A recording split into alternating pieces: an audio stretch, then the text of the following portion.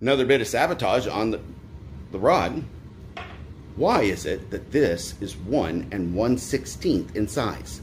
How many people actually have a socket that can fit on here?